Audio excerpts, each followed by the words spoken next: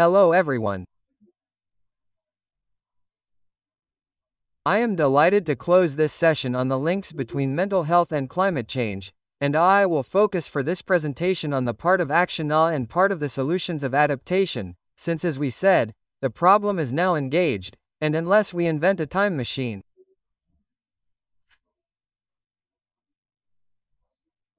A priori, there is no technology that will allow us uh, to solve uh, the problem, that is to say to go back since other millions of tons of carbon have been released into the atmosphere and it is only one of the planetary limits that has been exceeded.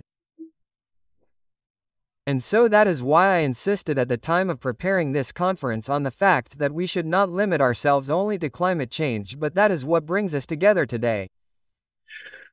So, as we said, it is quite normal to develop eco-anxiety when we live in a world in which Antonio Guterres, who is the president of the UN, tells us that we have opened the gates of hell, in a world in which rainwater is contaminated by eternal plastics and that we are starting to find these plastics in the human body and, in particular in 2024, a study that caused a stir in human penises. So perhaps the patriarchy will feel concerned and then we saw it more recently with the events that happened in Spain and so we highlighted it during the first two presentations. These are the same people who say the rain must stop and who take the plane to go on vacation to cut off the winter. So for me the real pathology, we suggested it, EH, it is the ECIS and not eco-anxiety. And so I think that this is a problem that was addressed in the first two presentations, is the risk of and it was well said EH of psychiatrizing or pathologizing. And besides, I specify that I was presented as the psychiatric component following the public health and psychological component, but in fact, I am also in the psychological component because psychotherapy and also in the public health component researcher in public health. And here, I present to you the results of studies that we did with Guillaume Chevance, who presented the first part, which are not yet published, and which show us that energy intensity, that is to say the energy that we spend per inhabitant, has only allowed us to improve part of our health. This is the part that concerns transmissible infectious diseases within particular for example vaccines, hygiene, the creation of drinking water circuits. But that our energy, there is a large part that we use in a way that destroys our health in fact with an increase in chronic diseases. And so for example the most obvious examples are the increase in sedentary lifestyle, so the time spent sitting or lying down which is not the same thing as the lack of physical activity. So I insist on this also because these are things that are not always integrated into the population and so we can on the one hand fight against sedentary lifestyle by trying for example to work standing up. So as I speak to you, I am standing and I attended this entire presentation standing up and on the other hand develop one's physical activity in particular with active transport. We will come back to this.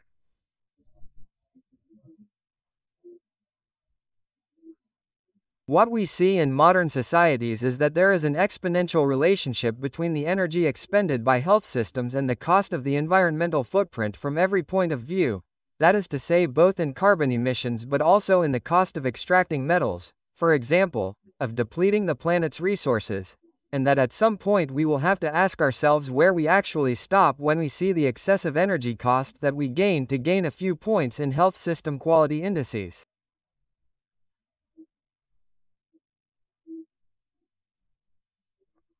Then another question that has therefore gone around the world these results because in fact there are countries that we see are under the black curve, so in fact which are doing much better than others in the link between the optimization between the energy expended by the health system and therefore the parameters of access to care and quality of care. So that generates a lot of thinking in the organization of care. And another thing that also challenges us is that we could say that we are supposed to be in better mental health since that is what brings us together today. So, mental health, stress, anxiety, depression, concentration problems, sleep disorders, cognitive decline. We should be in better mental health in countries that spend more energy on our health. And we see that this is not the case because, in fact, there are correlations. So, correlation is not causality, but it still challenges us. That is to say that the more the country spends energy on its health and the more eating disorders appear, the more tension disorders and the more addictive disorders increase, and therefore with any type of addiction to substances. So these are phenomena that open up the way we use this energy. So now, to take concrete action based on, for example, healthcare system establishments because healthcare systems represent around 8% of carbon emissions. So it's a huge expense item. And so there are debates around the relative proportions of each item, but overall we're going to focus on a few major emission items by healthcare establishments for example, and so in particular, there's the issue of medicines. Medicines, so there are life cycle analyses, LCAs which are very complex. We have a lot of difficulty since medicines are produced on a global level and you have followed, like me, the thinking around the tensions which concern medicines. And so there was the whole recent subject of prawn with Sanofi. So medicines have probably explosive carbon footprints but which we can't quantify. So we can, we just know in fact that it's a huge source of carbon emissions. And in psychiatry, so I have a doctorate in psychiatry in molecular and cellular biology. In psychiatry, there is a real trend that is emerging and particularly in the 30 to 50 generation without wanting to stigmatize people but so it's just an observation of which is the question of deprescribing in fact. That is to say that in fact during psychiatry studies, we are taught to prescribe, we are not taught to deprescribe. And so, it is a real field of research now which is supported, among others, by Professor Fabrice Berna in Strasbourg and which therefore there are now clinical guides to deprescribe antidepressants, deprescribe anxiolytics since you see it here. 40% of patients currently who start treatment with benzodiazepine, therefore anxiolytics, will never stop it and that is really common clinical practice. People who come after 25 years of prescription and who say, I was never told that I had to stop it. And so, when we are faced with anxiety, whether it is linked to climate change or not, there are still a lot of anxiolytic prescriptions that can help occasionally, but we really need to be extremely vigilant about stopping them as soon as they are no longer necessary. And that is a real issue, and we will see what alternatives and especially the prevention that we can put in place to avoid these situations. It should also be noted that caregivers are absolutely not exemplary, contrary to what their role expects. In fact, caregivers normally have a duty to set an example because they are part of the professions that are valued and listened to by the population. Even if COVID has had consequences in terms of trust in the words of health professionals and overall, in fact, there is listening and attention paid to health professionals who speak out. Now, health professionals should know that 33% in the Amadeus study that we conducted in 2021, so at the time of the third COVID wave, so we were after the big COVID phenomenon, we had resumed routine care. There was no deprogramming, there was no saturation of intensive care units. So we had resumed a so called normal life, as normal as possible. And so there, we had 33% of caregivers who met the clinical characteristics of a depressive episode. 80% of them reported having already had a depressive episode during their life. And among those who met the criteria for a major depression, there were only 23% who were taking an antidepressant and 13% who had psychiatric monitoring, which are normally two of the pillars of care with psychotherapeutic monitoring. So that means that caregivers are poorly treated in fact for their mental health and for other health criteria as well as physical. They do little physical activity and they also have high rates of overweight and obesity. Now we have knowledge that has exploded over the last 15 years on the links between the intestine and the brain. And uh, so I'll quickly go over that. We know that the bacteria in our microbiota, this packet of 1.5 bacteria that we have in the intestine communicates with our brain and in particular with emotional airs via the vagus nerve. That this microbiota influences the absorption of essential nutrients for our brain. For example, tryptophan which is a precursor of serotonin, involved in many mental disorders, that this microbiota will synthesize short-chain fatty acids that will nourish not only the cells of the intestine, but also the growing nervous system and which can play a role in neurodevelopmental disorders in children that will synthesize neurotransmitters such as serotonin which we talked about, dopamine, acetylcholine, and noradrenaline which is found at 95% in the lumen of the intestine and above all that it will strengthen our immune system and the links between immunity and mental health are now perfectly established. The more I am on the immune level and the more I increase my risk of stress, anxiety, depression, sleep disorders, concentration and above all I accelerate the cellular aging of my organs and in particular my brain. In the loop, loop with a descending system that Elaine spoke about just before, the cortisol system, in fact, which will therefore increase in the event of stress and which will increase especially the permeability of the intestine, whereas normally the intestine was impermeable and therefore that, that will create vicious loops between the 10 functions of the microbiota and dysfunctions of the brain. Why am I talking about this? It is because currently our modern lifestyle subjects us to a diet that is mainly ultra-processed and this ultra-processing impoverishes our diet in nutrients and that is why we talk about ultra-processed products and no longer ultra-processed foods since we can no longer call food in fact a substance that will harm us more than it will improve our health.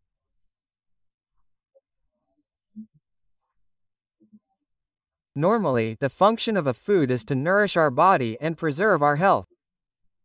Here, we are faced with products that contain calories but are low in nutrients. So it will create malnutrition situations with an excess of calories on one side which will create inflammation, a very inflammatory perissodal fat around our screws and on the other side impoverishes in essential nutrients, particularly essential for our mental health and our brain. What does the current scientific consensus say? I insist on the scientific consensus since there are doctors who are currently speaking out on social networks to defend the consumption of meat in particular. What the consensual data says, what this data says, is that it is the Mediterranean type diet that has the best protection on general health and particularly on cardiovascular health. So already this first point is extremely important since our brain is vascularized, so our mental health depends directly on the state of health of our arteries. The Mediterranean diet, as a reminder, is a predominantly plant-based diet. That doesn't mean it's vegetarianism. It is therefore a majority of fruits, vegetables and legumes consumed every day that will nourish the microbiota of our intestine with fiber in particular which will be very important in its diversity to diversify the bacteria in our intestine. Currently, we know that 1 in 4 people in good apparent health have a weakening of their intestinal microbiota. That is to say, we are witnessing a collapse in the biodiversity of the bacteria in our intestine at the same time as we are witnessing biodiversity, its collapse in our environment. This is one of the examples of the one of the interconnection of planetary health, human health and animal health. And so, in this Mediterranean diet, we see that meat and fish are reduced to a few portions per week and, particularly in France, we know that we consume three times too much meat since the 2021 figures showed that the average consumption per capita was 1.6 kilograms of meat while the health recommendations are 500 grams per week. So I insist, we are on health recommendations, not on environmental recommendations. And we see that the majority of people do not follow health recommendations. This will be very important for the rest of our thinking. It is now demonstrated by intervention studies that the Mediterranean diet improves symptoms of depression in depressed people. Here, you see a meta analysis that was published in 2024 with five trials against randomized what this meta-analysis shows is that there is a significant effect but that there is also a very strong heterogeneity of intervention. Which means that there are people who will respond a lot to the intervention and others not at all. Which is logical because ultimately when we look at the current definition of depression, we have more than 150 different forms of combination of symptoms and that above all we must go to the level of etiology, that is to say that behind the same depression phenotype, we will have different causes.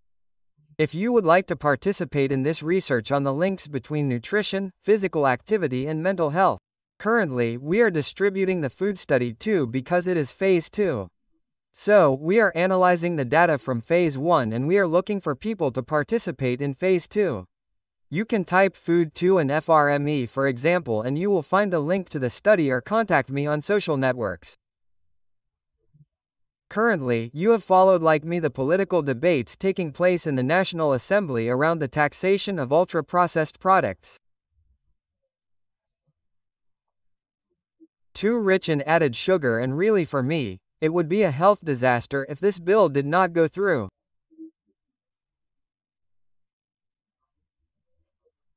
So I really hope with all my heart that the political system will not hinder in my opinion this bill which is absolutely crucial.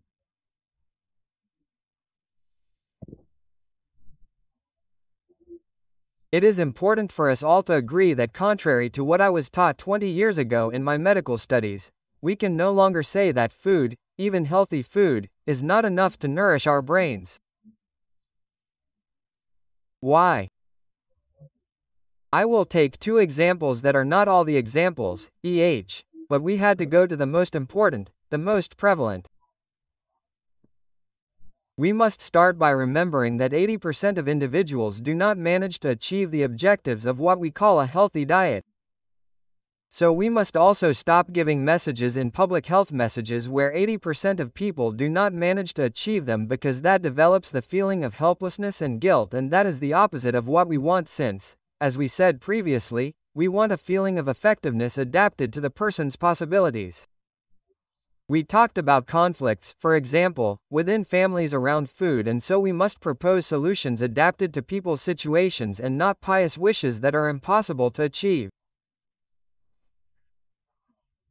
Currently, regarding omega 3, for example, we have very demanding French recommendations and rightly so issued by ANSES to consume 250 mg of DHA and 250 mg of EPA per day. Here you see the prevalence of omega-3 deficiencies in the world.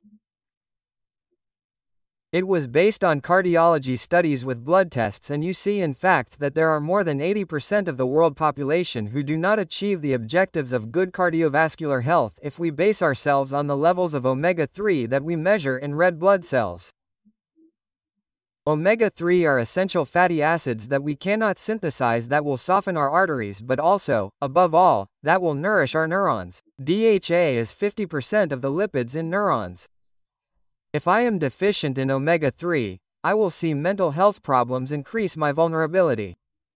To mental health will increase to stress, anxiety, depression, tension disorder, sleep disorder, and I will accelerate the cognitive decline of my brain. So, why can't we say that all we have to do is eat sardines to get enough omega 3? This is a message that we hear from a very publicized general practitioner at the moment. So, it's not that it's not possible for multiple reasons, I'm not going to mention them all, but we can already point out that more than half of the fish that are currently consumed are farmed fish and that for economic reasons. Farmed fish are now mainly fed with vegetable oils and flours that do not contain DHA. So that's very important because fish actually do not synthesize DHA. DHA basically comes from the plankton that small fish eat. And so for a while, farmed fish were fed with flours and oils from small fish that were unpopular with humans. And now in fact the global stock of DHA has not increased and neither has the stock of wild fish because otherwise we will empty the oceans. You see that since the 80s the stock of wild fish has not increased while the world population has increased. So, if we tell everyone in a public health message to eat fish and especially oily fish, even one portion per week, which is insufficient to achieve the omega 3 objectives. Even with this recommendation that seems simple, in fact, we would need seven times more fish than we currently have in stock to feed the brains of humanity. So, when we make public health messages, we really have to think about planetary health. And I say this above all for us in the medical profession. Algae are the solution at the moment. In fact, the origin of DHA, so you understood, the DHA deficiency, is the most hidden of all global deficiencies. In fact, we have talked a lot about iron, for example, and rightly so. There are problems with anemia, uh, deficiency, anemia. There are a lot of risks, for example, in pregnant women for the development of the infant. We are okay with that. On the other hand, no global health policy, particularly at the WHO level, takes into account DHA deficiencies despite the figures I presented to you, and there is no explanation for that, but it is probably not insignificant. One of the solutions, or even the solution in fact, is the only one since it is the origin of DHA, is to go directly to the level of the algae that synthesizes DHA. So here, you see schizo that we can synthesize industrially, covered, which allows us to protect ourselves from heavy metals. Since the other problem, when we eat a lot of fish, is that we are going to eat, you have seen, uh, the, the scandal that is around the ton. In fact, two weeks ago it was broadcast, uh, in the media, that the ton that we consume in cans contains a lot of heavy metals, in particular cadmium and methyl mercury, which are going to be stored in the brain and destroy our neurons, accelerate aging, including other organs of our body. And so eating fish up becomes problematic for health. While it was a food that was perceived as a good food for health, now the benefit and the risk are really to be put in the balance. And that is because we have really poisoned our environment. So, and on top of all that, there are the eternal plastics that also live in the problem and that are only just beginning to be studied in health studies. So, for all these reasons, my point is that we could develop DHA from algae in quantity and that the best way to bring DHA to the brain is encapsulation. It is the capsule rather than fortified foods which ultimately will result in a lot of waste, loss and especially when we consume large fatty fish like salmon and tuna. In fact 90% of DHA is lost in the food chain, this is what we call trophic losses. So we might as well go directly to the source of DHA. That is what I propose. Another example that is really striking is the example of vitamin D. There are people who still say that nothing works in COVID when there is a meta analysis that showed, with all the rigor necessary for the meta-analyses, that vitamin D supplementation was associated with less COVID infection and less admission to intensive care units for COVID. So we have this famous molecule, we have talked a lot about hydroxychloroquine and other molecules. Here, we have a molecule that has no adverse effects, that is available, that is not in tension and that can be prescribed. ANSES and CPAM, the primary health insurance fund, tell us that it is not necessary to supplement. The ANS published three reports in 2012, 2015, 2021. All these reports say that vitamin D deficiency is extremely prevalent in France, that 100% of people do not have sufficient dietary intake of vitamin D, that it would take to cover the needs of 97% of the population, 15 microG per day, while women on average 3 and men 5. So, we are between 3 and 5 times less than what would be needed to have sufficient vitamin D coverage. And above all, my point is that we need to move away from the logic of the cure because currently what we expect is to have health problems to have a possible prescription for doctors who are aware of the subject, supplementation with very high doses. When in fact we should be taking vitamin D because our diet is not enough to provide it and exposure to the sun is not enough most of the time either. To have sufficient vitamin D levels, you need to be exposed to a significant part of the body, that is to say the torso for 25 minutes in the middle of the day, in July-August. So most of us do not actually reach these sun exposure objectives. And so all this is documented in the INCA3 study, ah, which was conducted in France, which showed the inadequacies in dietary intake despite vitamin D enriched products such as dairy products. It is not enough to stop these vitamin D deficiencies. And one of the realizations is that the brain cannot store. So we can't say, I took my three ampules in November, December, January. I'm fine for the rest of the year. That's what the majority of practitioners are doing right now. But it's not logical because in fact, the rest of the year, we also need vitamin D, especially for regulating the immune system. It's a steroid hormone that will influence the immune system and mental health. And now, we have an umbrella meta-analysis. It's the highest level of evidence. So, a collection of meta-analysis that confirms the effectiveness of vitamin D supplementation in depression. Everything I'm telling you is included in international recommendations for the practice of psychonutrition published in 2022.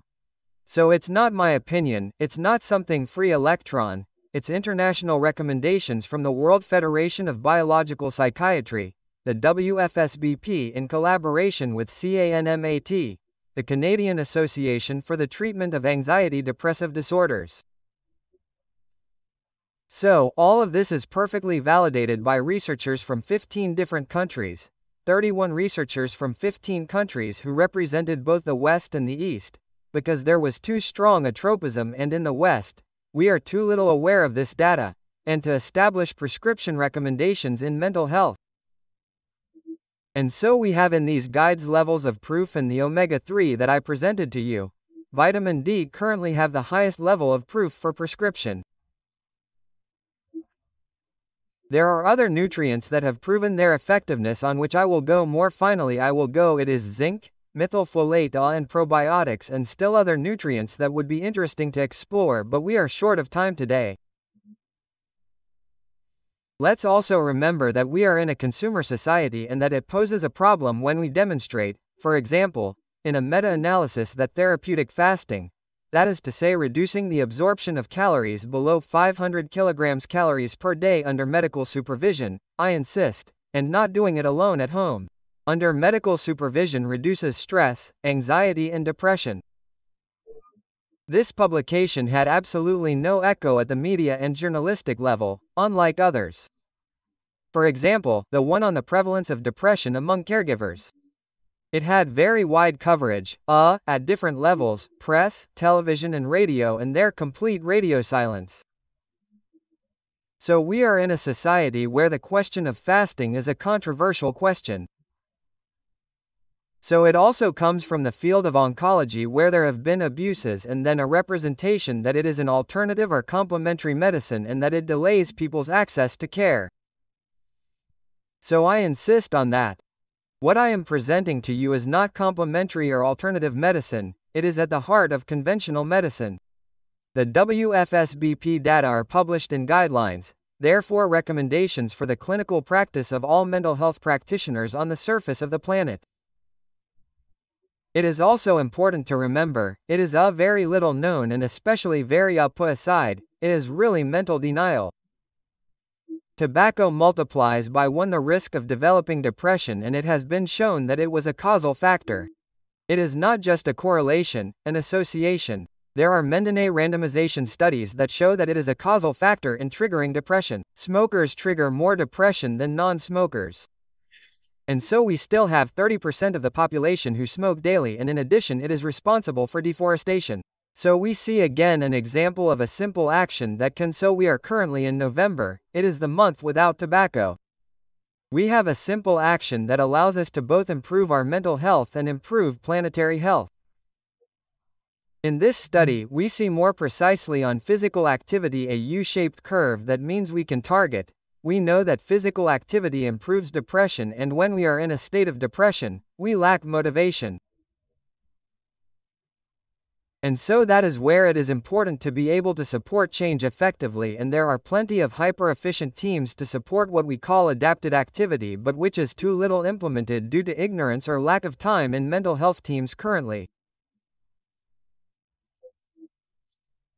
And so we have put the metabolic equivalents that we can calculate and we now know that a goal between 20 and 40 meters per week is the ideal goal to achieve so with an optimum at 25 to protect our mental health and we can implement this with active transport for example to get to work when possible.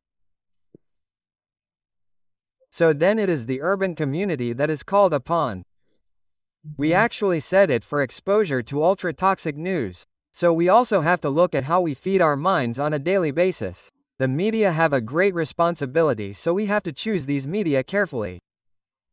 So without playing the other's politics but also without exposing ourselves to information that makes us powerless.